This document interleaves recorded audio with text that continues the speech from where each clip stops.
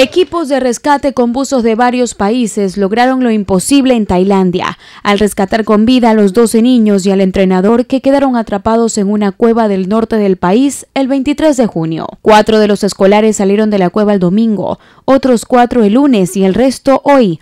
El entrenador de los menores que tienen entre 11 y 16 años y que juegan en el equipo juvenil de fútbol Jabatos Salvajes fue el último en abandonar la caverna. Hoy los tailandeses, el equipo de Tailandia, los funcionarios gubernamentales y el sector privado, así como los miembros de los medios y el apoyo moral del mundo, logramos hacer algo que nunca esperábamos que pudiéramos hacer. Es la primera vez en el mundo.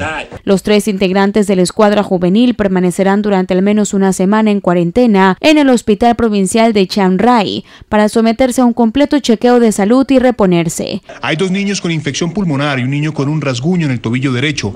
Nadie tiene fiebre pudieron levantarse y hacer cosas por sí mismos. Uno tiene una frecuencia cardíaca muy baja y una temperatura corporal baja. Les proporcionamos medicamentos y están estables. Esta mañana pudieron comunicarse bien, no tienen fiebre y les hemos ofrecido comida especial. Los dos escolares y el entrenador de 26 años se internaron en la gruta tras un entrenamiento de fútbol, cuando una súbita tormenta comenzó a inundar la cavidad y les cortó la salida.